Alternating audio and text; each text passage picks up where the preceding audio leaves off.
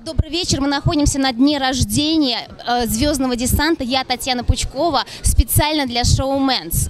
Рядом со мной Владимир Брилев. Это человек, который несет в себе огромный пласт культуры, искусства и творчества, я бы сказала. Такого, что они вам поверят. Это так, потому что э, Яндекс выдает огромное количество касательно деятельности этого человека. Расскажи про себя самое яркое, самое главное. Болтун, отец, счастливый отец девятилетней дочери, певец, продюсер, тренер по творческой реабилитации детей-инвалидов. Расскажи про это. Ну, в данный момент огромное количество проходит э, мероприятий, ну, параллельно проектов. Творчество без, без границ, у беды нет наций.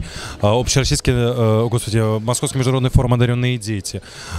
Много проектов, в которых мы, на- нас и как артистов приглашают, и в которых мы работаем именно как тренеры. То есть мы, мы за- занимаемся с детками для того, чтобы заниматься, ну, как бы, поднимать их. В какой форме проходит тренерство? Для людей с одаренных и для людей с некими ограниченными со- способностями? Нет, в, пе- в первую очередь мне интересно работать именно с ограниченными, ну я их называю с безграничными возможностями. Самое главное объединять в одну аудиторию детей э, разного возраста. Там есть от нуля до пяти. У нас есть специальный специалист Наталья Пыхтина, она реабилитолог очень серьезная в Европе.